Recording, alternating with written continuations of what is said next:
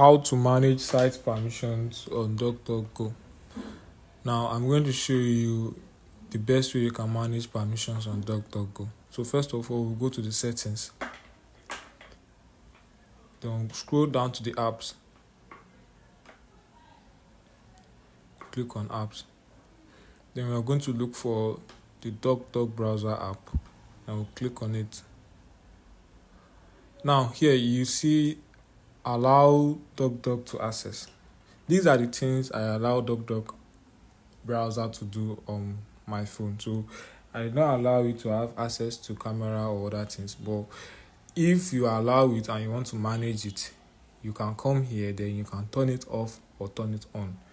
Right here, it will show you the things DuckDuck app can do on your iOS. Thank you.